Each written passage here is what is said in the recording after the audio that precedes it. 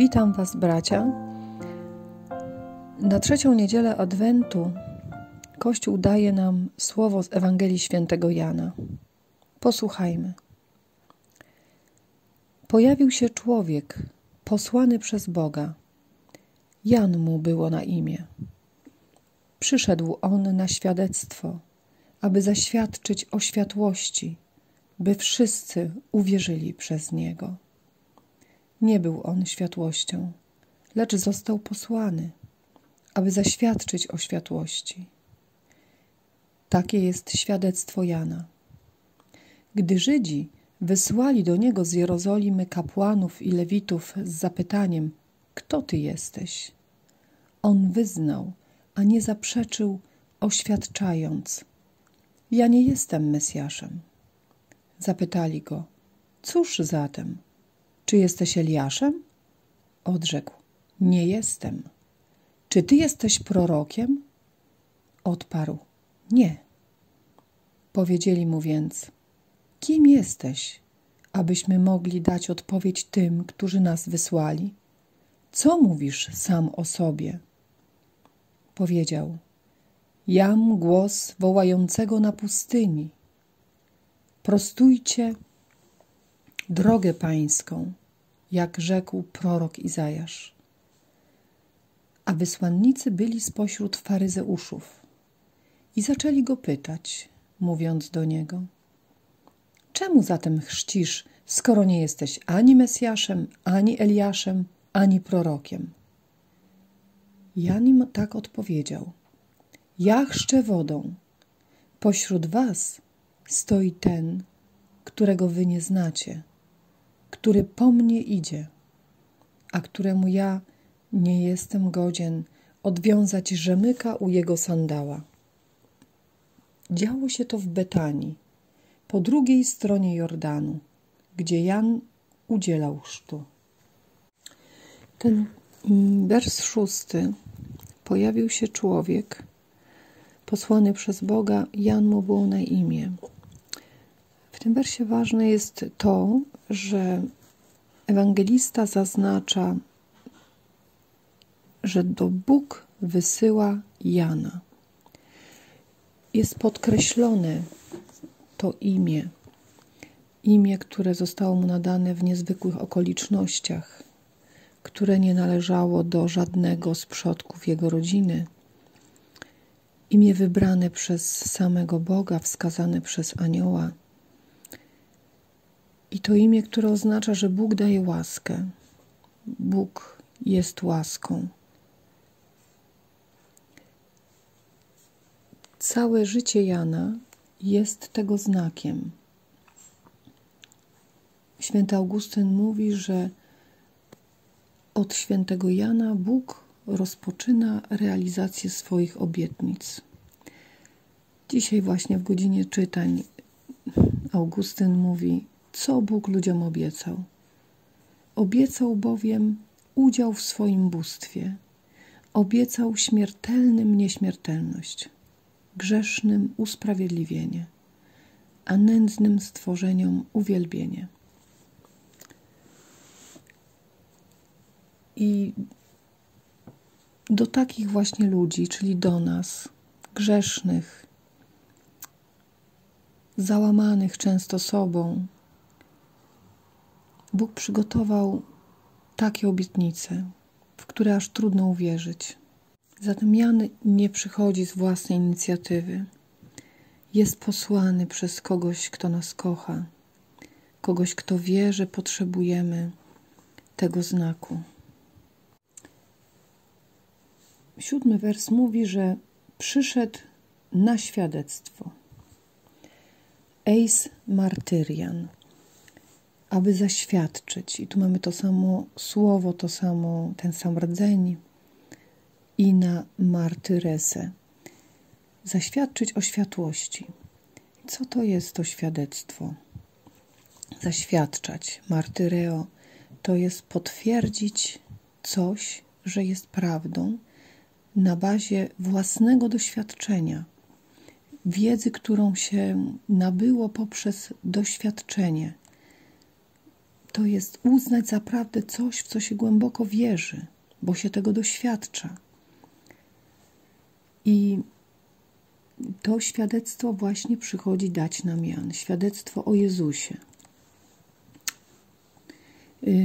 U świętego Jana często jest mowa o, o świadectwie, to jest jedno z ważniejszych słów w tej Ewangelii. I zobaczmy na przykład Jan w XIX rozdziale mówi: Zaświadczył to ten, który widział, a świadectwo jego jest prawdziwe.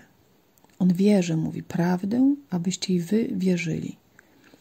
Tutaj Jan mówi sam o sobie, że to, czego był świadkiem, jest tak ważne, tak istotne, że on musi o tym świadczyć. Moc tego świadectwa jest ogromna, ona posuwa się aż po utratę życia. Świadczymy o tym, do czego jesteśmy przekonani, z czym się utożsamiamy, i to świadectwo jest ważniejsze od życia. I dlatego wiemy, że Jezus, żeby dać świadectwo prawdzie, i to wiemy z rozmowy z Piłatem, Jezus mu tak odpowiada: Tak, jestem królem, ja się na to narodziłem, na to przyszedłem na świat, by dać świadectwo prawdzie. Każdy, kto jest z prawdy, słucha mego głosu. Jezus umiera, dając świadectwo prawdzie. Jan również odda życie.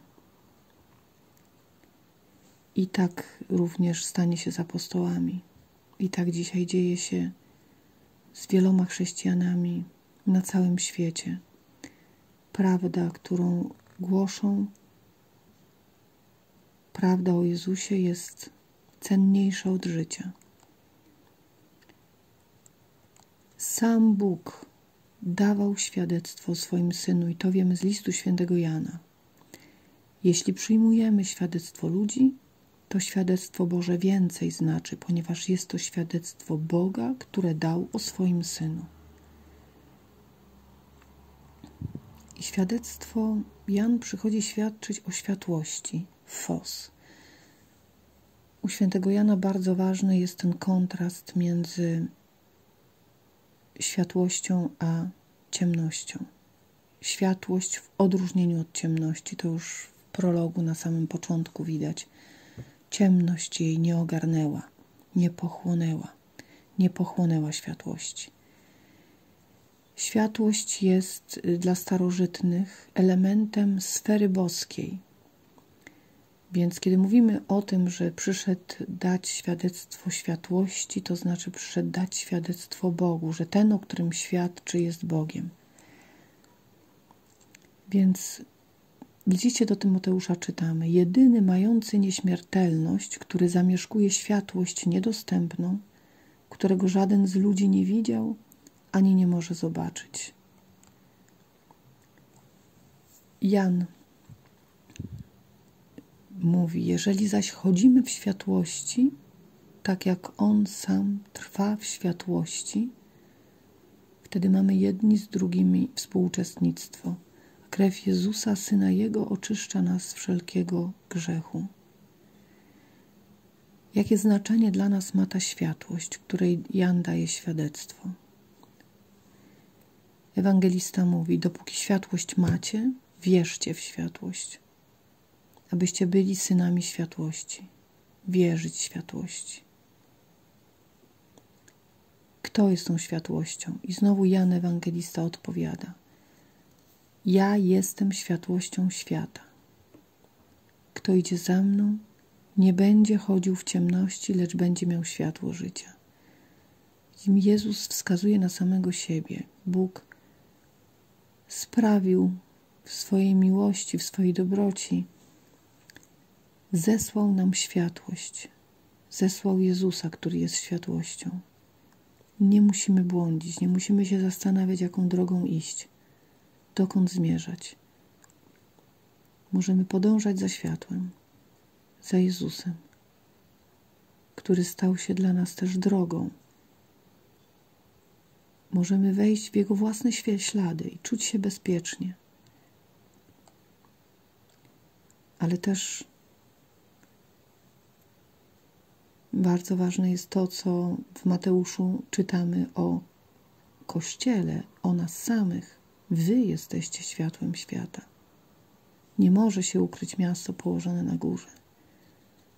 My, wchodząc w ślady Jezusa, Kościół, wchodząc w ślady Jezusa i świecąc tą światłością, którą od Jezusa czerpie,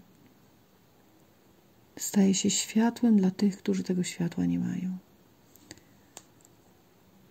Dla tych, którzy nigdy Jezusa nie poznali, którzy nie wierzą w Jego istnienie, nie wierzą w Jego miłość. Problem polega na tym, o tym też mówi ewangelista Jan, że choć Jezus przyszedł na światło, aby każdy, kto w Niego wierzy, nie pozostawał w ciemności,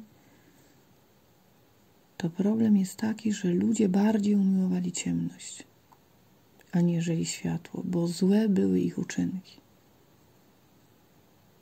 I to taki konkretny wymiar egzystencjalny.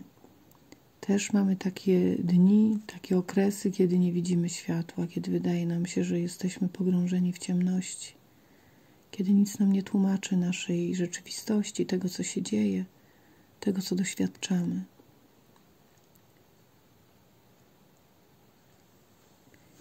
Ale często przyczyna leży w naszym przywiązaniu do, do tego, co nie jest Bogiem, do różnych idoli, do różnych zabezpieczeń. Po prostu złe są nasze uczynki. W wersie ósmym Jan bardzo wyraźnie podkreśla, że chrzciciel nie jest światłością. Jego zadaniem jest zaświadczyć o światłości. To nie chrzciciel jest źródłem światła. I to jest przepiękne, to doświadczenie Jana, który bardzo dobrze widzi, gdzie jest źródło, że Bóg jest miłością, Bóg jest światłością.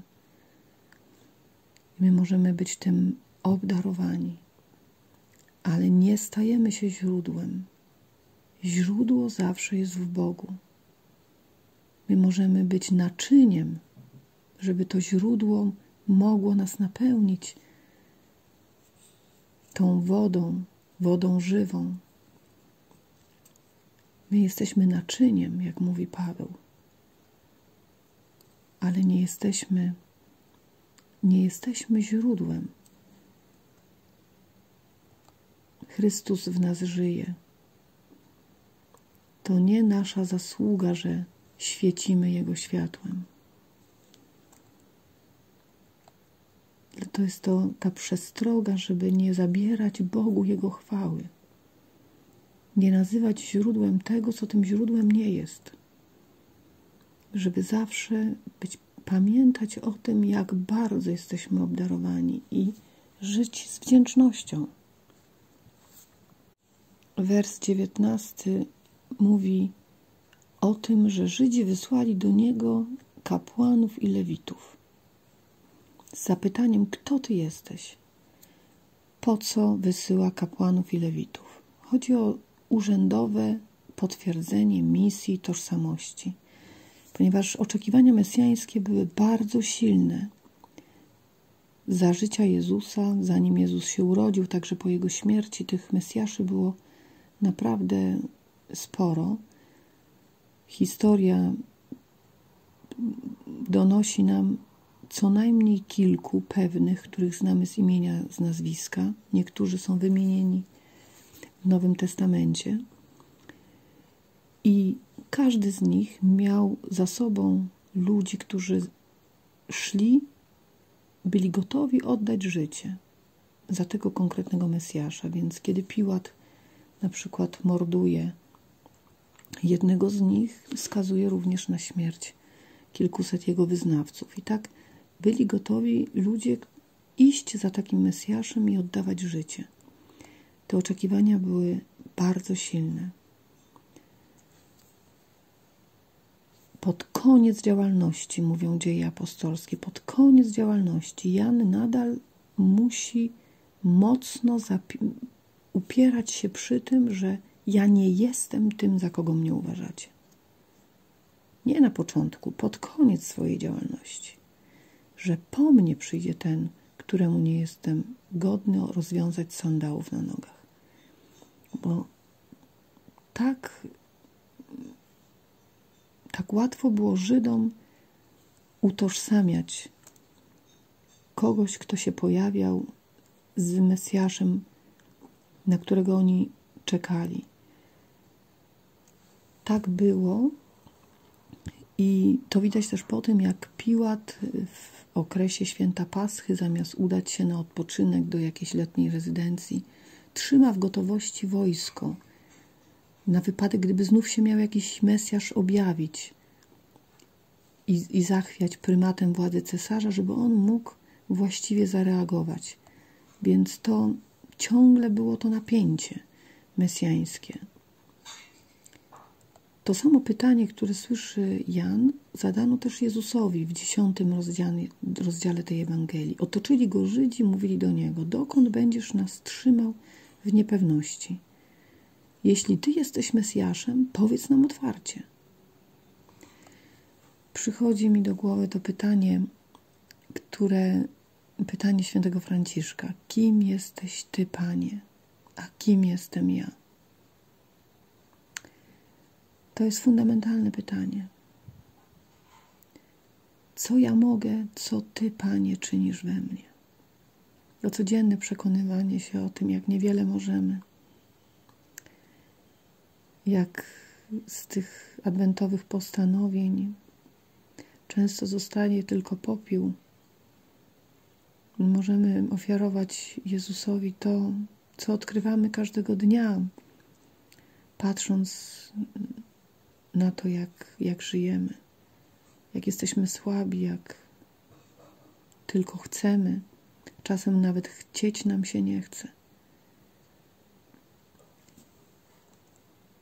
Takie są fakty. Kim jesteś Ty, Panie, który pochylasz się nade mną, nad moją słabością, nad moją nędzą, nad moim kulawym chceniem Kim jesteś Ty, Panie? Jaka jest Twoja miłość? Co ja mogę? Co Ty sprawiasz we mnie? Rzeczywistość, ta nędzna rzeczywistość bardzo pomaga nie popaść w jakieś samouwielbienie, które już później jak po równi pochyłej prowadzi do, do doświadczenia ciemności.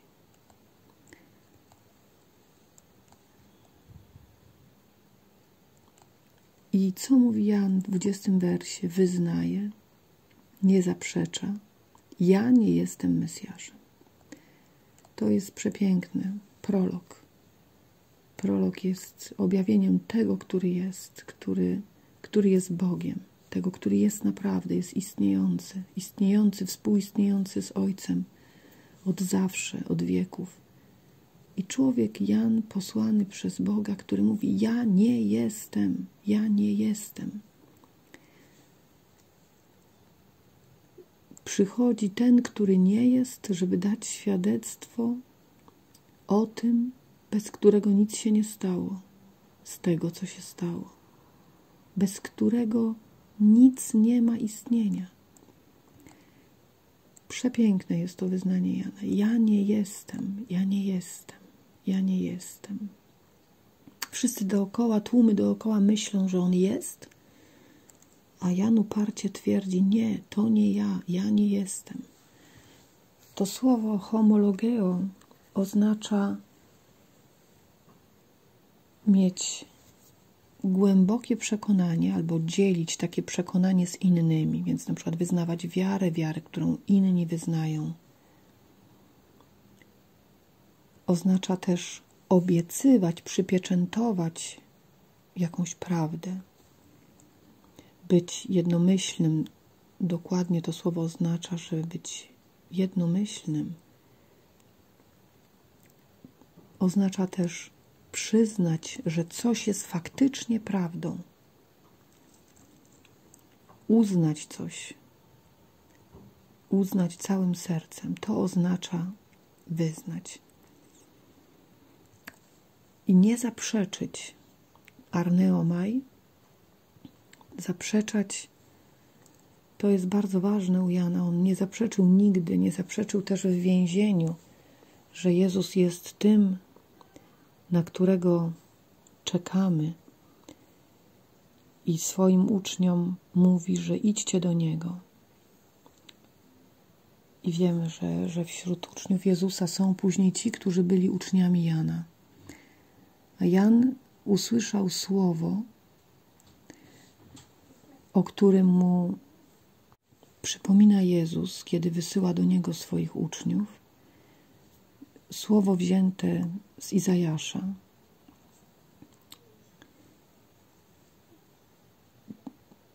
Ponieważ mnie namaścił, posłał mnie, abym ubogim niósł dobrą nowinę, więźniom głosił wolność, a niewidomym przejrzenie, abym uciśnionym odsyłał wolnymi. To jest słowo, które mówi, że oto przychodzi Mesjasz czynić te rzeczy, ale kiedy wysyła uczniów do Jana, nie mówi mu o więźniach, którym głosi się wolność, a Jan jest w więzieniu. Ta obietnica jest pominięta.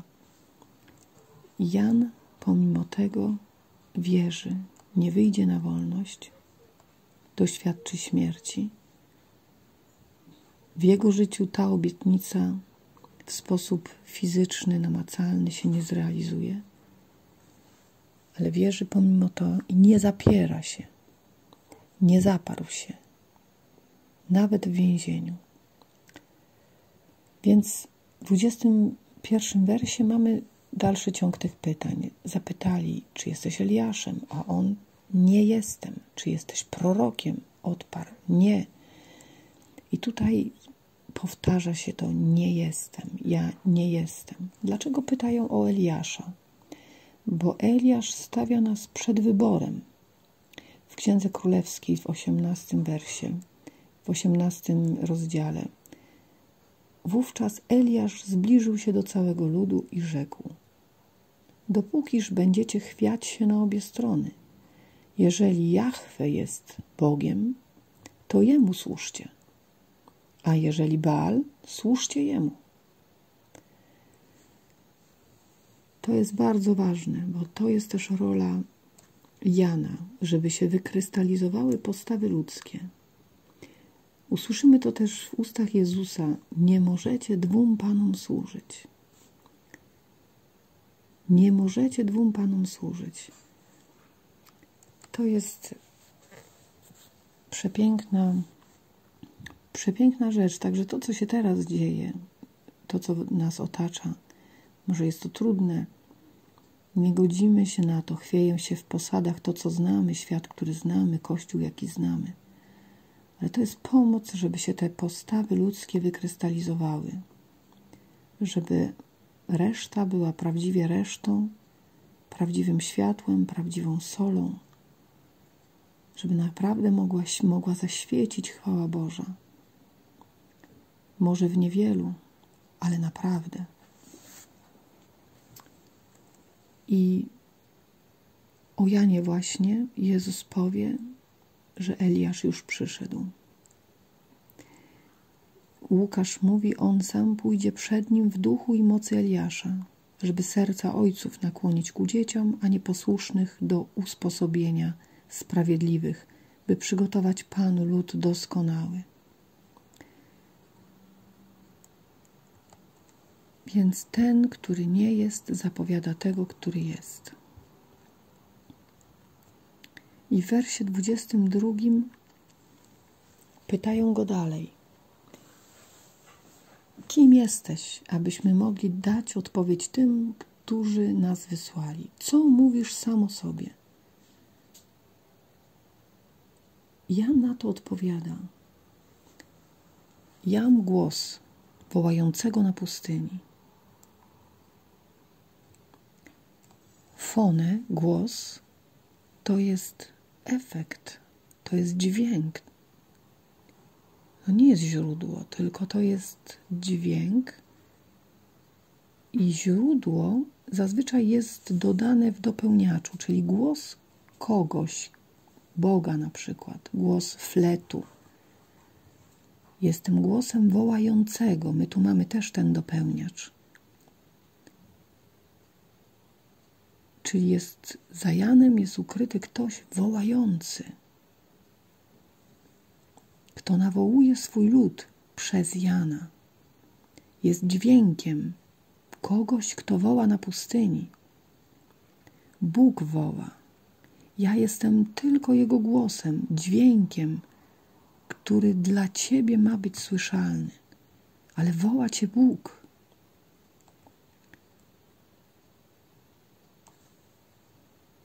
Przepiękne jest to pytanie Jana, ewangelisty w dwunastym rozdziale. Tak spełniło, aby spełniło się słowo proroka Izajasza, który rzekł: Panie, któż uwierzył naszemu głosowi?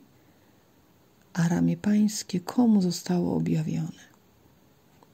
Bóg woła nas. Wierzymy w to? Woła nas przez to, co się dzieje w naszym życiu, przez te fakty, które są w naszej historii, które były, które są, które będą. Bóg woła. Woła. Wierzymy w to, że w tych faktach, które się dzieją, których może nie akceptujesz, objawia się ramię Pańskie, tak jak się objawiło w krzyżu Jezusa Chrystusa, którego nikt nie zaakceptował. Moc Pańska, ramię Pańskie objawiło się w tym krzyżu, w tym cierpieniu, w tej hańbie. Wierzysz w to? Wysłannicy byli spośród faryzeuszów. Więc ci, którzy do niego przyszli, sami byli faryzeuszami. Faryzeusze, o nich mówi Łukasz, i uczeni w prawie udaremnili zamiar Boży względem siebie, nie przyjmując chrztu od Niego, czyli od Jana. To słowo faryzeusz, haperushim, to jest ktoś oddzielony, oddzielony od innych. To są ludzie, którzy bardzo rygorystycznie przestrzegali prawa. Byli mocno związani z, uczeń, z uczonymi w piśmie, ze skrybami. I to byli ludzie, którzy byli wykładnią, wykładnią tego, jak należy żyć według prawa. I Paweł, na potwierdzenie tego, Paweł mówi o sobie w dziejach apostolskich w 26 rozdziale. Wiedzą o mnie od dawna, gdybyż chcieli zaświadczyć, że żyłem według zasad najsurowszego stronnictwa naszej religii, jako faryzeusz.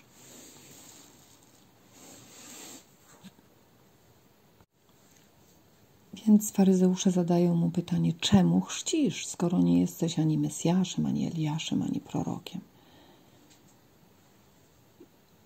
Paweł odpowiada na to pytanie w dziejach apostolskich, że Jan udzielał chrztu nawrócenia, przemawiając do ludu, aby uwierzyli w tego. Więc chrzci, aby uwierzyli w tego, który za nim idzie, to jest w Jezusa. Dlatego, że chrzest obmywa z grzechu.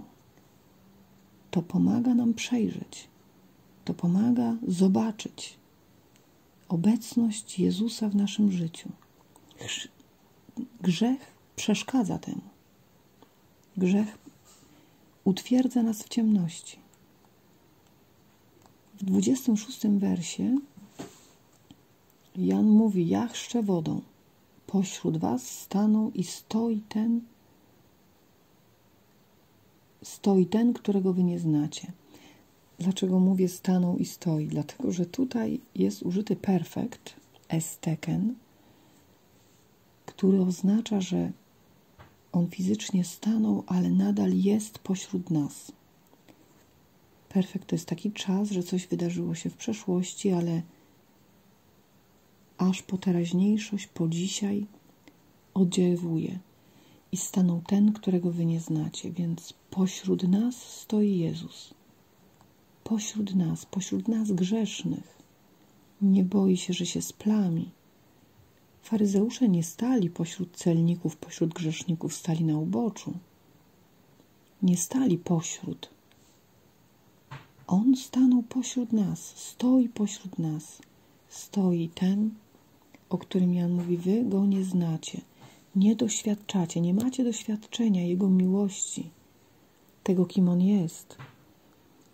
Jan mówi też w ósmym rozdziale, na to powiedzieli mu: Gdzie jest Twój ojciec? Jezus odpowiedział: Nie znacie ani mnie, ani ojca. Gdybyście mnie poznali, poznalibyście i ojca. Więc i mówi też: Będą tak czynić, bo nie poznali ani ojca, ani mnie. Poznać Jezusa. W 17 rozdziale powie, że życie wieczne polega na poznaniu, poznaniu Ojca i tego, którego posłał, Jezusa Chrystusa. Poznanie.